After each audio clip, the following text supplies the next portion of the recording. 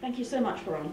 And, and it's a little difficult always giving a talk here because some people might have heard bits of it, quite a bit. Uh, so I, uh, forgive me if I, you're talking about. if I say things which you've already heard. Others, of course, haven't heard much about what we're doing, and so hopefully this covers the range of different issues. And this is, as, as Ferran says, the end of my visit this particular semester, so it's a good way to think, what have we done so far with our project, and particularly the second book, and then where are we going? So towards the end, I'll also allude to future directions and all of those sorts of things.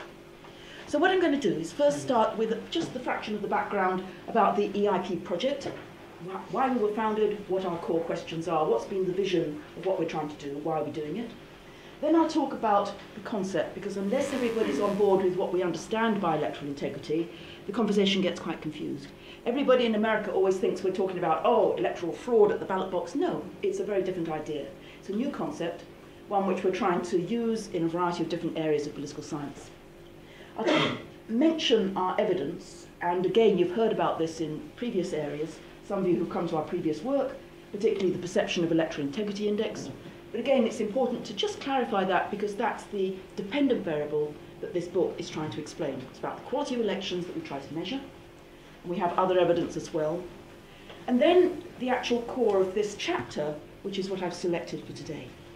So the new book is about explaining why elections are flawed and failed, when they go wrong.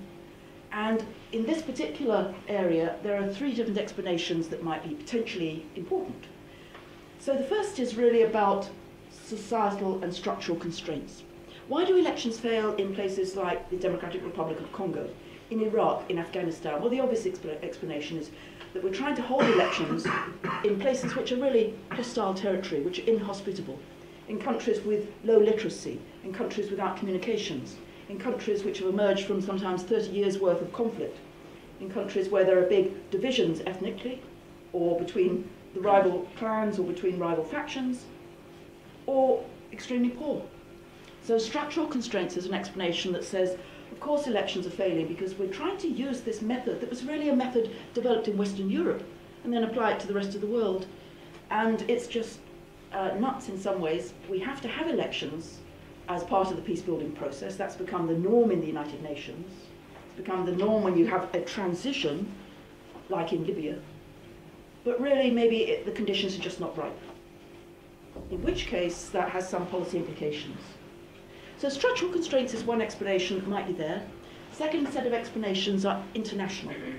Maybe countries are failing because the international community is not committed through giving sufficient development aid or assistance, or doesn't have the capacity to provide that assistance to really run elections effectively, efficiently, and cleanly. And you can think of things like, for example, Kenya in 2007 that dissolved into conflict with thousands of people displaced and a lot of killing. Maybe it was because the international community hadn't provided sufficient support, for example, for the electoral for the electoral management body, or that the, there hadn't been enough investment in basic technologies to get the register right and get the basics, the nuts and bolts of an election working. International drivers are also things like globalization, and I'll go into that explanation in more detail. The third set of explanations in the book are different, and this says it's not really about what the world is doing, the world community, and it's not really about the conditions, it's about the type of institutions that are being created. So constitutions are basic. And again, we know from classical work on things like Lijphart on democracy that some type of power sharing arrangements are going to provide a more suitable type of electoral context than others to really have a sustainable democratic system. And here, power sharing institutions might provide constraints on the executive. So if you think about all of the ways in which the executive can manipulate an election, think about Russia, think about Putin, and the ways in which his coverage, for example, in the media is so enormous, or his control over resources is so substantial. If there were power sharing institutions, then the executive will be checked by an effective legislature and an independent EMB. So that's an obvious explanation. Um, in addition, of course, in some contests you've got first past the post, the winner take all, or a second ballot system. And again, I refer to something like the presidential election in the DRC in 2006, where basically everything rested on whoever could win that presidential contest. There were no compensations for the losing candidate. So that system, you might have thought, was exactly the wrong type. in any post-conflict situation. We need PR, we need multi-party systems, we need a fair and proportional system, access to parties, access to candidates, and EMB capacity might be really important here. So what the EMB culture is, and whether or not it has the capacity to run an election. So really the book says we haven't got a big literature on why elections fail, but we've got an enormous literature on democratization and democracy. Let's draw on that and let's think about these three explanations as different ways to explain what's going on in um, any particular election. And it doesn't matter whether it's an election in some of the poorest countries in the world or whether it's an election in hybrid states like Mali or whether it's an election in established democracies. Those three explanations might be important for a variety of things. I then present some evidence and so on. But in this book, in this talk, I'm going to focus on the middle and not give all the evidence for the other two, although I'll, I'll mention it briefly, because obviously in a short talk you can't cover all the book, just the main parts. So let's start with the background. The EIP project started in July 2012, and um, it started because, of course, of the ARC award, and that runs through until basically the end of 2016, a little bit in 2017. And this project came about because when I got the award, it was not for this project, by the way, it has to be said. Uh, it was for something else. Um, but I'd finished that book. It was on making electoral, uh, making democratic governance work, but I didn't want to do that. So I said, what's going on that could really be worth investing in? If I've got a lot of resources, a long period of time, research assistants, fellows, a variety of different things that we can do, what would really be worthwhile? And it struck me that elections and their failures was something that hadn't been taken seriously before. Uh, there was a new commission that was just publishing its report by the Kofi Annan Commission, which really drew attention to the word electoral integrity and was published just at the time I was doing this. And I knew that many colleagues were starting to work on this. There was work being done, particularly in those who work on autocracies. People like Graham Gill and others who had taken seriously the fact that the executive was manipulating the election. Everybody was holding elections worldwide in all but five countries, but we knew that there were all sorts of problems going on in how that worked. Elections were being used not as agents of democracy, but as agents of control. There was also new work being done on electoral reforms and on hybrid regimes, etc. So I said there are three questions. So the first is really some sort of comparative evidence on when do elections meet our concept of international standards. It's not just free and fair, although that's the common language, but a broader sense. When we're talking and we're being critical about the quality of an election, when do we know whether they meet those standards? So that was the first question, and that's been very much the mission of the Perception of Electoral Integrity Index uh, measure, to say all countries around the world, let's rate them and grade them basically on how well they're doing. And it's funny that we've tried to measure millions of things in political science and economics. Um, the number of indicators we've got is enormous, including on democracy. Nobody before had ever tried systematically to really think through electoral integrity as a concept and to measure it. There are a couple of other studies like NELDA, but not really thinking about it in our context. And then, when elections do fail, is this just a technocratic matter? Is it something that I'm concerned about and people who are interested in human rights or people in international agencies? But really, the public is pretty indifferent. When the elections go wrong in, for example, Russia, when they have very poor quality, for example, Richard Rose and others, Ian McAllister, have said, well, yes, but the public doesn't care. They care about whether the regime is working what's the money in their pockets, but not these abstract issues about ballot access or voting registers and so on. So does it matter for public perceptions? Does it matter for public behaviour? Does it matter, for, for example, whether people turn out? So that was the second set of questions. And then, of course, the third set is really about what do we do?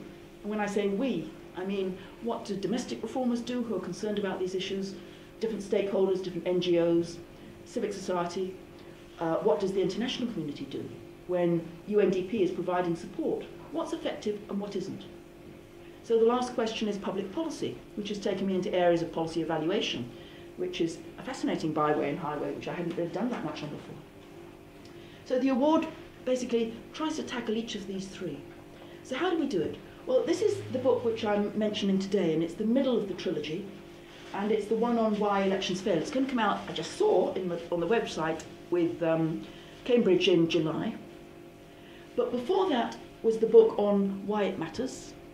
And then after that comes the book on strengthening election integrity. So this is in some ways the meat in the sandwich. It's a long-standing set of uh, projects. And it's quite difficult to write the middle book because, of course, you have to allude to the earlier book and what, a bit about what you did, and then you have to make some references through to the future book. So you don't want to repeat yourself, uh, but you also want to make sure everybody's again on the same starting point uh, to actually make sense of what we're doing. So each of these has been kind of a year. Um, 2014, the last book came out, 2015, this book, and then 2016 or 17 even, depending on how we get on with our evaluations uh, for, for the next book, or with Cambridge. So this is the middle book. So the first part is really saying, let's think about um, explanations, the ones which I've mentioned. Let's think about the evidence. And then different chapters which focus on each of these explanations, and then the conclusions. And again, I'll just pick out chapter 4 to focus on for today. So the framework. Now here I'm going to go quite fast. If I cover things too fast, just put up your hand and just say, oh, you know, that, that's not clear. But I don't want to bore the people like Ferran who've lived with this for like 100 years now. Uh, and, so and all of you who've come to some previous talks, which is all very nice. So the best way to start with is just saying, let's think about the ones which have really collapsed in a variety of different ways. Uh, think about the case of Thailand, which Max, of course, studied in some depth. And there were always factions in that country, but it was an emerging democracy. The economy was taking off. People had hopes that it was going to move forward. What happened, of course, was that uh, the factions uh, became so mistrustful, there was so little tolerance that they went into street protests, there was violence, there was deep divisions in the movements. And in 10% of the cases of the polling stations, there was so much violence that the EMB could not actually open the polling stations to allow people to vote. As a result, the Constitutional Court threw out all of the results. And They said this election has to be rerun. The Prime Minister fell, and the military took over on the grounds there needed to be more stability. So clearly, any case with a military coup, where the results are still unclear how they're going to move forward out of that, um, are a clear case of failure. No, no question about that. Afghanistan, I'd argue, was another very clear failure in 2014. The first election that was there after the fall of the Taliban in 2004 wasn't too bad, but it was essentially run by the UN. It wasn't indigenous. They spent something like 128 million, and the election had flaws, but nevertheless, Hamid Karzai won by a credible result, more or less. Um, 2009, things got worse. Corruption got worse, vote buying, intimidation, some women candidates were killed. By 2014, the tensions between the two leaders were so great that, of course, one of them said that there was um, um, uh, fraud on an industrial scale. The whole of the ballots had to be recounted, every single one, 8 million by the United Nations. They never got to the end of that process. Essentially, Kerry had to step in and had a mediated outcome which basically gave like a birthday party, uh, a balloon to everybody, and um, it was meant to be a power sharing arrangement, uh, but the results are still under, they're still being disputed, and the results have never been declared. And basically, everybody who went to the polls, everybody who risked their lives in some cases to go to the polls, their results were just thrown out as soon as you have a power sharing arrangement where the two leading contenders both have a, a seat in government. Nigeria is a slightly more cheerful case in the sense that everybody was predicting it was going to be extremely violent and uh, there was going to be widespread fraud. The electoral management body hadn't managed to get out identification cards to lots of people. In the end, it seems like there was a credible outcome where the opposition candidate won and when Goodluck Jonathan mm-hmm. stood down. But nevertheless, there has been some tensions and some violence. But it does seem to indicate that even in some very difficult circumstances of high mistrust, you can have a successful result. So those three cases frame the problems in one way, but think also about the problems in mature democracies, and this frames it in a different way. Please, please. We allowed to ask questions? Yes, yes, please do as you go as you go along. Otherwise, I'll. I guess, I guess, the thing about the the last example you just made, I mean, no, it only looks like a success. Yes. Now, so I, I guess What's your what's your time frame really? I mean, these are all very recent. That's right. Kind of examples. So we're is it a success or not? Well, obviously that's a, a nuanced judgment. We don't actually put a category as of failed and succeeded. What we do mm. is we have a continuum, and it will be on a variety of different criteria. So if you say, have you got a change between the government and the opposition, which this election did have, where the government stood down peacefully, that's by any measures in Nigeria a success, given the problems in the country and the problems in Africa and many countries. Was there fraud? Yes. Was there vote buying? Yes. Was there intimidation? Yes. Was there some violence in some areas? Yes. So it's far from perfect. But the fact that the um, winning candidate got three million more votes meant that there was a credible outcome, which is the word that's often used, meaning um, even with the amount of fraud, it's likely that he did really win. And the fact that Goodluck Jonathan accepted that is a measure of success. But if you were to say, okay, let's use those standards in Norway, would it be seen as a success? And obviously, no. So you can use a measure which is like over time in a country, where I'd argue Afghanistan's gone worse, Nigeria in this election has got better. Or you can use a comparison across particular types of countries or particular types of regions. Sub-Saharan Africa is Nigeria's success or failure compared with X, Y, and Z. Or you can try and do it across um, the world as a kind of 100-point index and so on. so each of those, I'd argue, is a good way of thinking about the evaluation that might vary in terms of whether you think it to be a failure or a success, or how you frame the problems in, in, that, in that particular country. We don't have evidence per se in our study which goes back over a long period, although others have. So, for example, the NELDA project by Susan Hyde and Nicholas Marinov goes back to 1945 and goes right up to 2012 and tries to assess the quality of election over time. Similarly, the new project called Varieties of Democracy, which is being done at Gothenburg by lots of colleagues, absorbing a million krona, um, very ambitiously tries to go back to measure all aspects of democracy from 1900 through to date and evaluate how it's changed. I don't think you can do that. I'm very sceptical.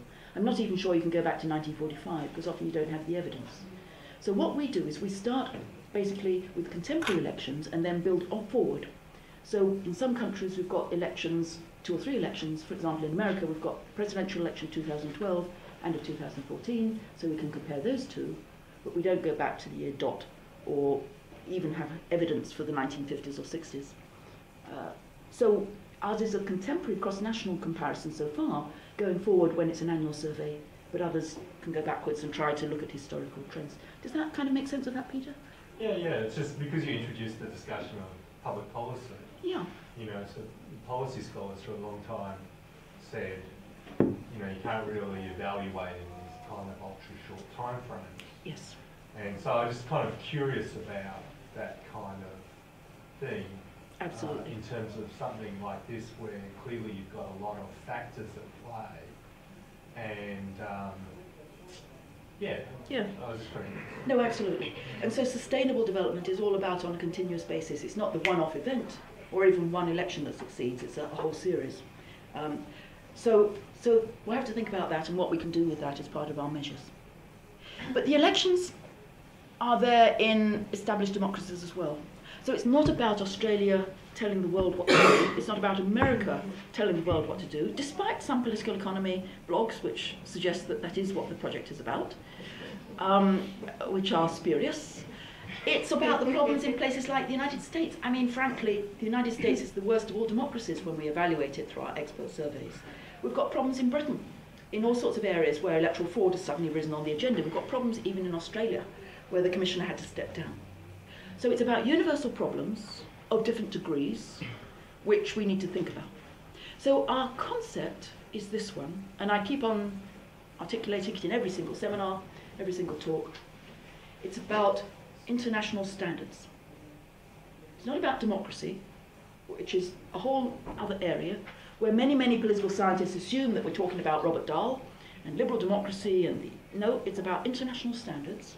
It's about the treaties it's about the conventions, it's about what governments have signed on when they commit themselves to certain standards, where the international community comes in to try and assist governments who've already said we should be working towards these aims. And so, for example, it's governments which have signed on to CEDAW, which means gender equality, and through Beijing means a target of a 30% for women candidates. And many countries come to international agencies and says, how do we do this? And I've helped with countries like Mongolia, where they say we only have 3% of women in the House, how can we really push up the number? I've helped countries or been to countries like China uh, and many other countries uh, to try and help them meet those international standards. So it's not my judgments, it's the judgments of the world, it's the General Assembly, the regional associations, what does the AU, the uh, African Union say as the standards and so on. They're universal and they apply as an electoral cycle, not just on electoral election day. So again, when I talk to Americans, they always think it's about impersonation of people somehow trying to vote twice in Chicago, which is the most implausible way that anybody's going to bother to vote. I mean, trying to get them to vote once is difficult enough. um, but Republicans are convinced there's real fraud, especially by immigrants in American elections. No, that's not what it's about. Let's think about the real problems such as money in politics and the imbalance in who has access to money. That's a fundamental issue. It's not framed as electoral integrity in America. Uh, just amazingly, it isn't. Whereas we say, yes, that's a central part. If you start a campaign with a very uneven playing field, then of course you're not going to get integrity in the end result. And the opposite is electoral malpractice. So that's our core concept, which we need to emphasize. We break it down in practice by these 11 stages. So any of them can go wrong. And in countries like, for example, Malaysia, we're talking about problems of boundaries and how far the districts are really open to the opposition as well as the government. Same is true of, of Singapore. Problems in some countries is party registration. Obviously, in a one-party state like Cuba, if you can't register, then that's a problem. But it's there for many other countries where they will ban a particular type of party, which is Anika's work, on where the law itself restricts party competition. It's there in things like campaign finance, where we've got an enormous new project which is really taking case studies and trying to grapple with that. Every single place we go, everybody's interested in political finance. How do you make sure it's fair and open? Uh, the international community has very few conventions on that. It could be there in the vote count, where that can go wrong. And again, some simple things can go wrong with that, where uh, the election is not seen as accurate. It could be the results and the delay, or it could be the capacity of the EMBs. So each of these is a chain, and it was described by Andreas Schedler as a five-step chain. We've kind of expanded it to an 11-point chain. And what this says is that, of course, scholars or policy analysts can focus on any one. If that's the problem in their country, we're not saying there's a single problem, there's lots of problems in different places. So we need to get all of these things right. So our evidence. Well, you've heard us talk, I'm sure, a bit about the Perception of Election Integrity Index. This is one of our core measures. It's not the only one, but it is a core one. And it's run by Ferran Martinez y very much helped by Max Gromping and others who've been involved in this. And it's very ambitious in the sense it aims to cover all countries worldwide of every single parliamentary and presidential election since 2012. So the only countries we exclude are the microstates, i.e. Nauru, Palau, and a whole bunch of other, Vanuatu, most of the Pacific small places. Mainly because Ferran can't find experts. We need to get 40 experts. Uh, and while we have a few in PIPSA, which I very much approve of this organisation, PIPSA, it's named after me. No, it's named after the Pacific Islands. Uh, but anyway, um, political studies. Um, we try and cover all other countries, and we have now covered 9,000 uh, 9, experts, 127 elections, 107 countries so far. And of course, we're currently running into 2015, where we get a whole bunch. How many other more? How many more countries are we estimating? Another 40. 140, 50. 140 or 50. And so we're adding it in, and eventually we'll get worldwide conquest. There's 173 elections worldwide which meet our size criteria and have elections, so that's our total universe. Um, it's released every February, all the data is available. We're also starting new case studies of particular countries where we're going to look at variations within each. So, for example, India. We've got partners in India, and we can look at different provinces and really see how there are variations in how they're running elections within the same country. That's a, a new set of work that we're starting this year. And all of our data is released and shared, has had over 2,000 downloads already, uh, which means there are lots and lots of graduate students out there who are working on this in their own countries who don't have the data. So hopefully we're creating a new subfield of electoral studies, political studies, which really will take this further forward and allow people to give evidence on these issues.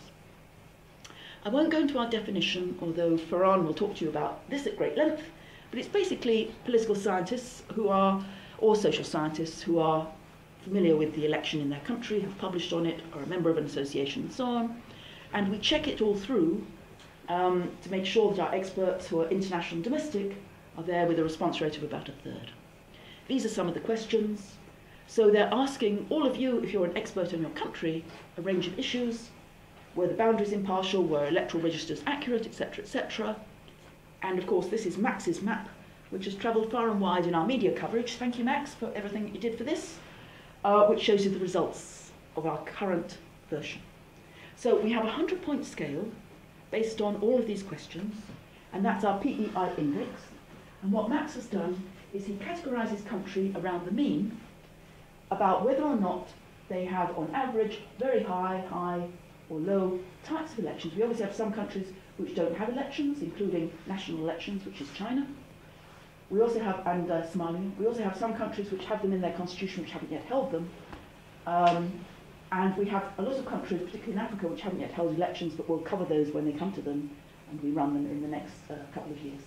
When Russia fills out, that'll be great, that'll look great. Canada comes up this year as well, so our map will look even more colourful um, when, we, when we've managed to include these. So these are our results. And essentially for the book, which I started with, Why Elections Fail, this is my dependent variable. This is my measure. And this answers that first question, when do elections, when are they problematic?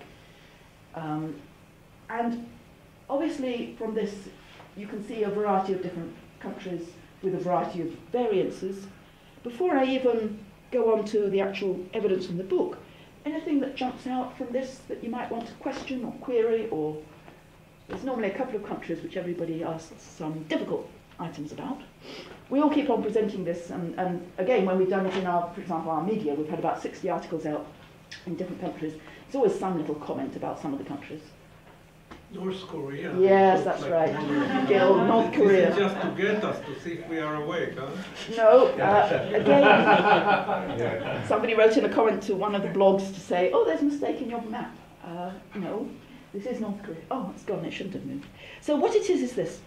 We think of our countries, and in particular Cuba is a, another example where they're both very, very similar. Um, why is this? Well, they're both one-party states, but of course we cover every election. We don't distinguish between whether or not there's more than one party.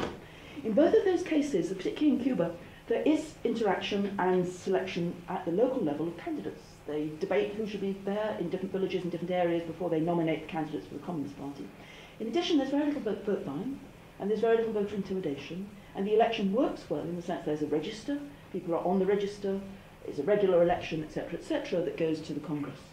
So our argument is that the quality of elections is basically two dimensions, one of which is democracy, human rights, which includes party competition. The other dimension is about governance. Can you run an election effectively, efficiently? Can you make sure that everybody's, all the trains are running on time, etc.? And we argue that in some countries, uh, with low state capacity, you can have high levels of democracy but bad elections. Cases like Mali, which you know they, were they fell apart because of uh, the Tuareg and instability. They had had a democracy, but they just the election went totally wrong. In other cases, you've got problems of state capacity. Sorry, that's a state capacity. Other problems, you've got problems of democracy, like North Korea. In other cases, you might have both working. In some cases, neither work. So it's not simply obvious that the more democracy in things like liberal democracy, the better the quality of the elections. There is a close association, but it's not perfect by any means. So other things can go wrong. So we justify our, I justify anyway, Ferran wanted to get rid of them. But I say once you start getting rid of these ones, then it's us judging what the experts say. And therefore, why should I assume that, for example, Zimbabwe is better or worse, and so on? Who was the expert in North Korea? Yes, so that's another big question.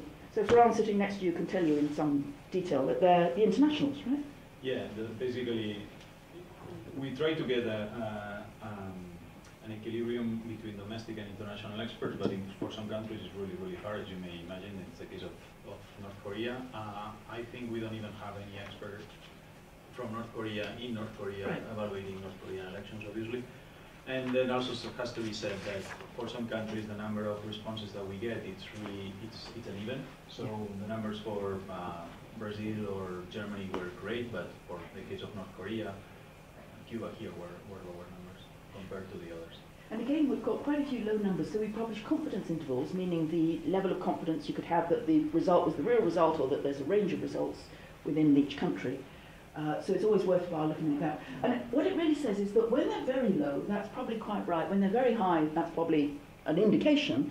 The small differences in the grey, greyish areas it's rather like grading, right? Uh, the differences between a first class degree and a, and a second class degree are clear, or third class degree, whatever. But the difference is between a 2-1 and a 2-2 aren't that clear. Please. Yeah, I have a question that goes a bit in the same direction. I can certainly understand that the concept of electoral integrity can be applied to autocracies. I study autocracies myself, Right. so I have no problem with that conceptually. I'm simply wondering a bit, have you got plans on maybe distinguishing between elections in democracies and autocracies at a later stage? Because obviously, even if you have high electoral integrity, the role of the elections may be completely different Of in course. a case such- as North Korea and Absolutely. let's say the United States, so um, I'm wondering about that. And then the second question would be, are these averages? You said they were Yes, averages. these are averages of your overall scale. So you can look just at the scale as a 100 point scale, Yeah. which is based on each 11 step, with each of which has different questions within it. And this is our 100 point scale from high to low, Equatorial Guinea, Djibouti, Congo Republic, not surprising as one journalist said at the bottom, Belarus. And then at the top, some predictable countries. Every time I go to IDEA, I have to say that it's Scandinavia that always does well. I'm afraid Norway and Sweden and Denmark and Iceland and, you know, they're all up there. But even though there's that, there's some countries which are slightly more unexpected here. Lithuania came number one in 2015. They really, you know, they're really pleased with themselves. Rwanda did remarkably well. Uh, the Czech Republic is doing pretty good. So there's a whole bunch of countries which are new democracies which are doing quite well. It's not simply the longer you are democracy, the better your rate. America, of course, doing pretty badly in between Mexico and Micronesia, um, which is always nice. Um, But in that case, I'd like to ask, are there certain indicators that are driving these Yes. So this is what you can do. You can take that 100 point scale and it's an overall snapshot. And then what you can do is you can break it down by each of the different types. So we produce these colour um, traffic lights, which are basically, at a glance, everybody gets it. And so each dimension is different. And if we look at the United States, boundaries, which are a problem because it's all partisan driven. And then campaign funding is a problem, because we know it's a problem in America. Uh, and voting laws. So for every country, if you're only interested in Burkina Faso or Malaysia, as the Malaysian Election Commission wanted to find the details about the reports, you can say, what's going on in my country? And you can look at it as a broad inde- index, or you can even take one item, if that's the one that you want to look at. So to come back to your earlier question, do we say are autocracies different to democracies? No, because I don't actually even use those categories myself too precisely. I prefer to think of it as continuums. Autocracies themselves are incredibly varied between one-party states, between uh, countries with military dictators, between countries with um, personal dictators, uh, and a range of other failed states. So think of it as a variety. What this allows us to do is you can use your own regime classification and then apply it to see what are the weaknesses in different types of categories. And theoretically they should be different, just as democracies are very different amongst themselves. And so they have different, different patterns, say in Europe and the United States. So we allow the data, we release the data every Feb- February after that previous year, so it's as up to date as you can get. And really, we're encouraging everybody to use it and just say, well, I've got this conceptual framework, or I've got this issue in my set of countries I want to look at, say it's in Latin America or Central Europe. What does this data tell me that could add on to the measures that we already have? Um, so it allows us to play with it in those, in those levels as well. Any more questions about my dependent variable yet, or, or are we all still kind of okay? What's the definition of a election? An election Yeah. a national contest where there's a, a contest either for parliament, i.e. the legislature, or the executive, i.e. the presidency. Yeah. So we haven't yet gone into the local and state and provincial, although we're starting to do that with our teams. Uh, and we, we also think of it throughout the cycle. So it, it's not that it's the event on polling day, it's throughout the whole four years or five years. So why, some of your states then fail that test, don't they? I mean, if you take North Korea, if it's a national contest, there is no contest. Yes, there is, because there's contests amongst different candidates. Now, it's only within one party, but again, what we say is that there's many restrictions on parties in lots of different countries. In some places, minor parties of a particular type aren't allowed to stand. For example, in Germany, you're not allowed to uh, have right, radical right parties. In other countries, you have basically uh, a predominant party with 80% or 90% of the vote, where there's a token candidate against you.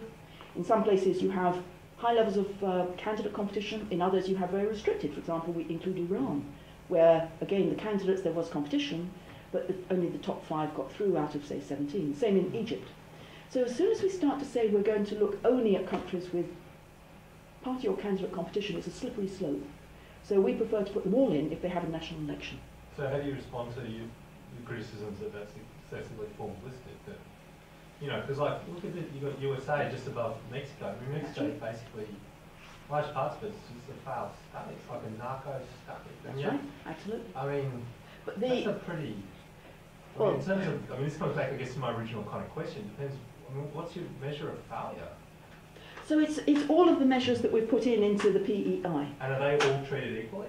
So Yes. each of those measures are treated Each, equally. each of the 11 steps is weighted equally. So we've got questions, which let me just go back to our cycle. This is why the concept is so important for the whole thing. Uh, each of those is really important. So when we're thinking about North Korea, we're thinking about this box here.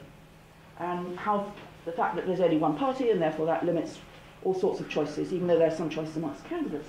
But all of these other aspects are part of the issue, So and each of them can right. limit um, real competition. So if you reweighted those, then you might You get very can. different ranking. Absolutely. And it's open to anybody to do that. So we say here are 49 indicators, and this is one way of classifying them. But if you have a different concept, for example, if you want to emphasize only um, voter participation and you want a participatory or deliberative democracy, Sure. you could take those items. So on what basis did you guys decide? Because I mean, you've obviously decided to release your index at the. Tell me to shut up if you want. Sorry. No, no, that's okay. Uh, on what basis did you decide to treat all the 11 steps as equivalent? Because there's no way to weight them that makes sense unless you turn to democratic theory, in which case you've got democratic theories. So certainly if I was to think about uh, the classical ideas of democracy, you might well weight some of these differently depending on if you want deliberation or if you want a more representative form of democracy. Yes, but, in not, not choosing, you've chosen. You've chosen to make them all equivalent. We have, that's right. Because there is no other way to do it. There is, if Well, I look at a so that's a choice. if I look at international standards, which is what it's based on, right? Things like the 1948 Human uh, Rights Convention, or the ICCPR, or the Declaration of Elections, which have been happening more recently. There's no way that they themselves would weight one aspect more than another. Um, in that sense, international standards are somewhat fuzzy and abstract and difficult to put through into practice. On the other hand, they're very legitimate. So they have advantages and disadvantages. For example, I went into China, uh, into Beijing, uh, and, and into um, Vietnam, and spoke about electoral integrity. Now I thought, oh, this is hopeless. I'm never going to be able to communicate because they're going to think I'm just some American talking about who knows what. We were immediately on the same page because people could take particular aspects of this that they thought was a weakness in their country and say, how can we improve that to actually Im- improve the standards of elections? So it's, it, it's kind of a diplomatic approach, if you like. It's one which is rooted in the international community, and it's based on human rights, um, where we're all in it together, rather than saying, this is my definition, this is critical, or that's my benchmark, or if you don't have this, then you're failed as, a, as an election. So it's somewhat arbitrary if you just pick one. Um, so I putting mean, more... it, it, picks, a status quo. I mean, you know, like those those values that you, you referred to. I mean, they were once contested. There were things that were ruled in and ruled out. That was Absolutely. entirely political. We took all sorts of things out, like economic and other rights out of it. And then, you know, the notion of the those as a standard is contested by the kind of, you know, the Asian democracy school. And then we just had It is theoretically, absolutely. leader argued strongly against this just not Confucian kind of democracy. So those Sure. things aren't.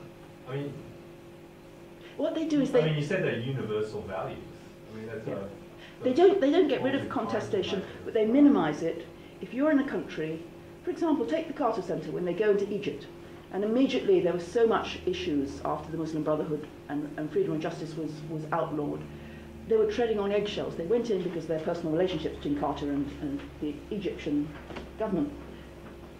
But the only way they could be seen as legitimate when they made criticisms of that election was to refer to the international community and therefore the universal standards which are out there that the General Assembly has endorsed. If it was simply the Carter Centre saying this is what you should do, then General Sisi could easily say, oh, that's just your view. I don't think that's right. In my view, in elections, we should be doing this. So it's like a common platform where you could get... not part Carter you're. I mean, it's like. Sure. I mean, the ranking for, for North Korea. Sure. Like they've got, they've got concentration camps in that country. And Sure. You, you rank them pretty, pretty well. I mean, that, On their elections, yeah. I don't know if Gil wants to jump in there, but we. But this isn't, remember, a, this isn't a, an index of concentration camps or human rights or a whole range of other things in the regime. It's elections and it's how the ele- Sure. So, But, uh, effectiveness. Anyway, okay. So it, it's basically, obviously, we're dealing with contestation. What you're trying to do is you're trying to minimise contestation. You're trying to minimise the conflict, let's put it that way. But if your definition of elections, and that's what we came in, is about contestations, and some elections are entirely isn't. non, Uh, my one is not about contestation. That's precisely why it's based on international standards. Well, International- That's the definition you gave me before, and I asked you what your definition of election was. Yeah, yeah. Is that, I've got it here. national? Where are they? Yeah, national contest, it doesn't have to be between parties, it can be between candidates. Sure. Right. Right. So when you go into, again, I went into Vietnam and, spoke to them about this in the Ho Chi Minh Academy, and they immediately said, how can we have some primaries to make sure that the candidates who are coming forward in the Communist Party are better quality, better informed, better educated, and a variety of other things like that. So we could have a dialogue about that. Are they going to produce multi-party democracy? Not tomorrow, that's for sure. Certainly in the current climate, they're not going to open up. But nevertheless, there are some things which they agree on, we agree upon, which you can start to build to create some better quality elections. So it's the it's it's resting on what is out there, even if it's weak in some ways, even if it doesn't cover all of my values, even if it's limited in, in a variety of ways. But there's nothing which says in all of the or, even though there has to be genuine choice, it doesn't have to be genuine party choice. It just was never agreed by the UN for all sorts of obvious reasons. In 1948, if you think about the countries, and in 1966, uh, Russia and China just would never agree to those particular issues. Well, let's move on to the actual chapter, because obviously Anika wants to come in with a whole bunch of, two pages of notes here, um, and I haven't even told you about the results of the chapter. Let's then say this is our measure, and it goes on and on, da da da da da. Why do elections fail? So let's just look at the argument for this particular aspect, which is international factors. Is it the case, and I really must shut up, because otherwise I'm going on far too long. Ferran, you should really shut me up. Anyway. Yeah, sure. Okay. so this is, oh, I won't go into this model, but basically it's like this. It says that um, electoral integrity measured by PEI could be the product of the fixed structural conditions in each society. We talked about poverty, uh, lack of communications. Could be the result of international forces and the way in which the international community is helping. could be the result of constitutions, and could be the result of EMB. And all of these flow together because, of, after all, structural conditions will affect power sharing arrangements, etc., etc. Let's just look at the red line. So what does this show? Well, the way to analyse this is essentially, oh, we've got a little feedback loop. There we go. There are lots of studies which have tried to look at the role of international forces in trying to improve elections. Nearly all of them have looked at only one aspect, which is electoral observing. Nowadays, in most elections around the world, a team of electoral observers will come in and they will look at the quality um, and they'll look at this, for example, there's a team of observers who've just been assessing the UK election. Um, Russia offered to do that one as well. Um, Daniela Donno, Susan Hyde, Judith Kelley have done really good studies. And there's a range of carrots and sticks. In this book, what I say is that there are three international factors that might affect whether or not that election meets the standards of interna- international integrity. One is cosmopolitan communications. This is kind of Peter's area and others. Why might that be important? The more your barriers to information are open, the more you're likely to hear about how other countries run elections, about standards of human rights, and therefore it might be that as countries integrate through cosmopolitan communications, that improves the diffusion of international norms, which in turn improves the quality of their elections. Second range of factors, though, is different. This is technical assistance. So we're now spending something like 16 billion a year on technical assistance for elections, where many, many agencies are engaged in trying to improve the quality of governance in general, and then how the election management body works, or how the electoral reform should be put, brought in, or how women should become candidates, and so on. So that's a second explanation. And then the third explanation is based on literature, which says electoral observers. When they come into an election, they observe particular polling stations, and whether they're domestic, which is what Max is looking at, or whether they're international, which is what most of the literature has looked at, where you get electoral observers, you get more transparency. Where you get more transparency, there's less manipulation, and therefore that should have an impact. And these can be seen as long, medium term, and short term forces. What's the evidence? Well, we all know that globalization has expanded, and this just shows us the expansion of a very, very nice index of globalization done by a Swiss institute, KOF. They have some lovely measures of social, economic, and political. And the social is great, it's things like the number of McDonald's, which are based in the country. Um, the political are things like integration into the international community and so on. And you can see immediately, if you look at the trends, that there was a gradual rise in the 70s and then a sharp rise in the 1990s. So it might be that as elections have spread, so global norms have spread through this mechanism as well. Aid spending has also gone up. So this is the second factor that might be explaining what's going on. And this is the amount of money the international community has been devoting to elections and to democracy. Now, the figures are very soft in the sense that trying to count these things is almost impossible. Say you have a project on improving parties in Hungary. Um, is that part of democracy? Is that part of elections? Is that part of another program? Well, this is the best figures we have from AidData, and it's only started as a database in 2008. And you can see the amount of money that was being spent on both of these areas until around 2000 was pretty minimal. Suddenly, it shoots up, and the amount of money being spent on elections goes up as well. Um, there are all sorts of reasons why, but I do think there was a real seminal change at the turn of the century. For example, the UNDP created its democratic governance practice in 2002, really took it on as a mainstream area. So that's changed. And lastly, observer missions have also expanded.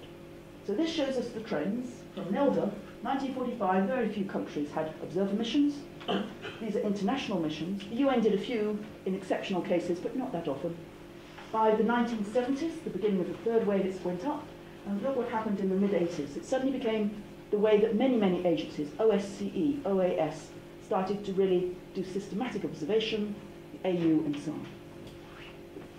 So what's the results of each of these three things? Well, this is a figure which I know some of you are going to hate, but nevertheless it's where I can summarize my, my evidence. So let me tell you what I've done. Firstly, what I've got is the PEI is my dependent variable, and the first thing I do is I just put in two factors to see how much those two alone explain the quality of my election measured by PEI. So when I put in the development level, which is wealth as per capita, and I put in a measure of corruption and natural resources, which is the proportion of rents the country has as proportion of GDP, both of those are significant, and both of those explain quite a lot of the quality of any election. For about almost half of the variation is just explained by those two factors alone. So being richer seems to help, and having a natural resource curse seems to hinder the quality of an election in your country. Both of those are plausible. I can give you a lot of reasons. I put in lots of other factors, but I, I won't put those in here. But those two factors alone are important. But let's look at my second model. I then put in globalization. And what immediately emerges is that economic development is kicked out. Natural resources remains a negative factor.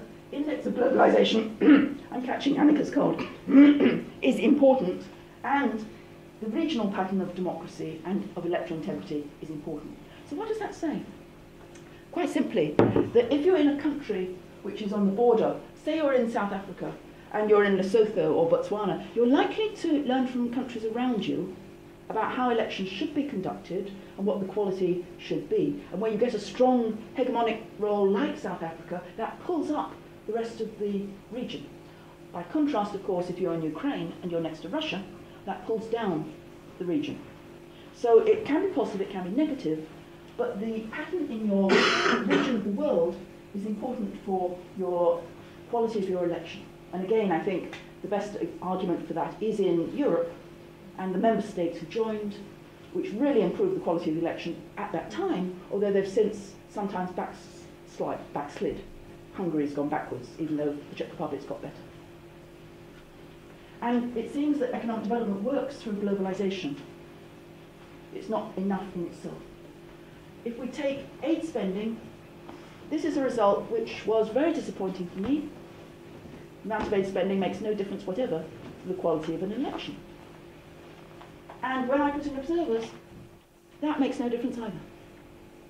So the first question then, which, I mean, is this actually intuitive? Does it make sense? What's going on? Let's try to understand what's happening underneath these patterns. Why might it be that this falls out And why might it be that this is not significant and this is not significant? Any idea why the amount of aid spending might not explain the quality of an election? There's an obvious answer if one just thinks about it for a bit, which I think does make sense.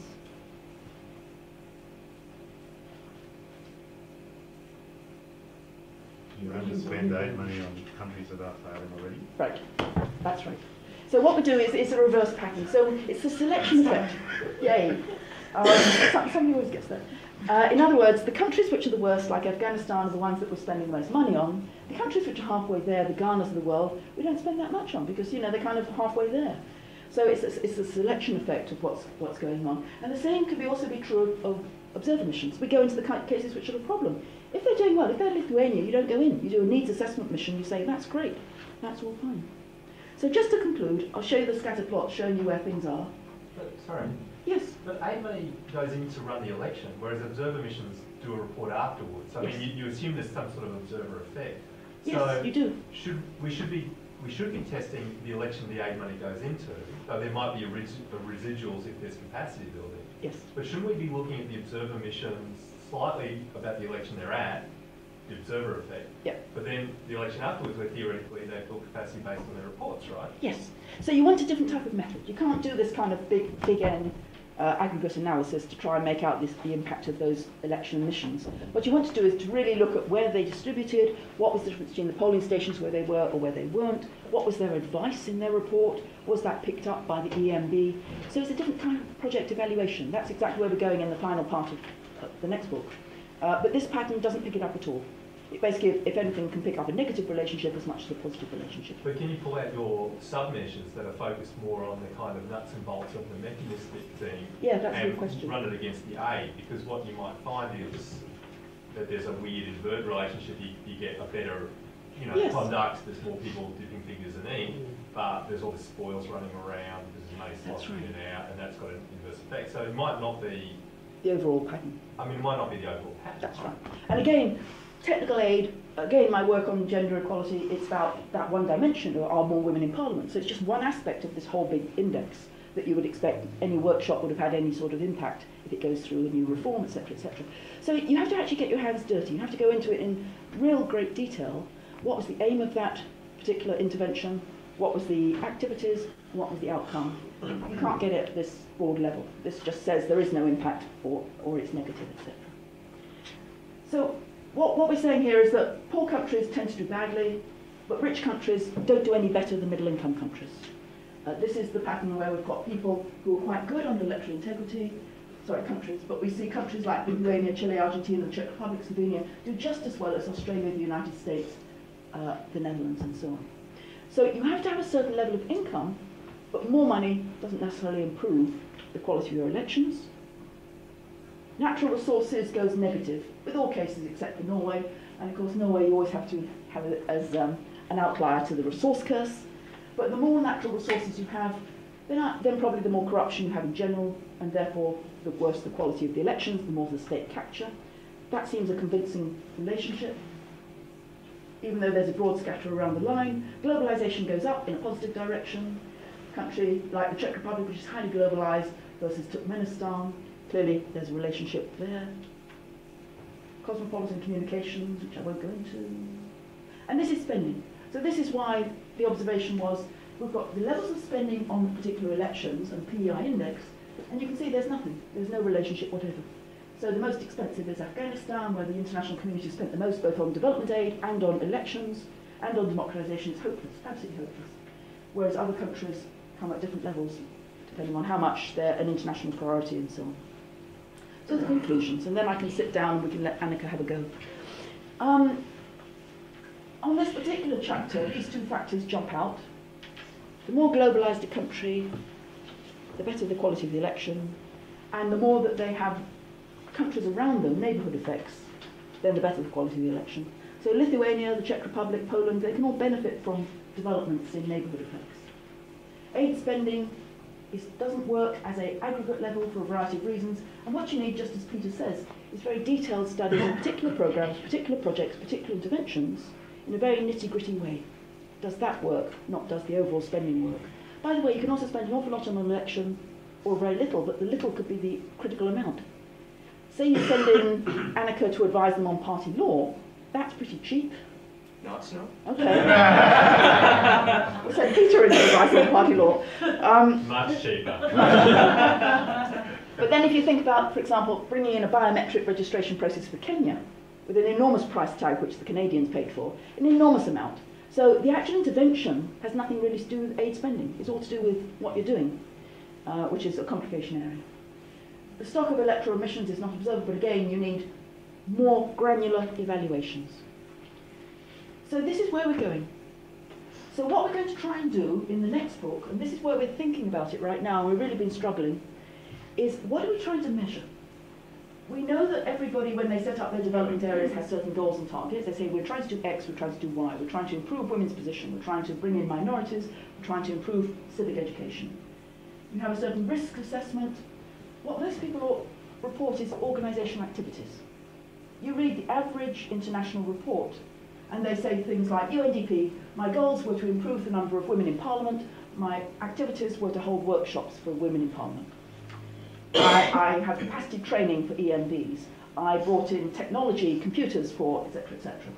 But this doesn't tell you anything about impact, whatever. It just tells you what the activity was, how much it cost, how many people were there, etc. What we have to get to, and it's very difficult to do, is to think about outcomes, and not just any old outcome, but the outcomes for electoral integrity is the activity actually related to an outcome which we care about? Or is it simply UNDP grinding its wheels, doing its regular stuff? And ultimately we care about societal impacts, but frankly we can't get there. We, we can't make those links, they're far too big. So what we're trying to do is talk to various organisations. I've been to International IDEA last week, Ferran went to OSCE, Max went to ANFREL. We're making partnerships with a lot of the international organisations and trying to say to them, look, tell me a few of your core activities that you're doing right now or that you're trying to do in the next 12 months.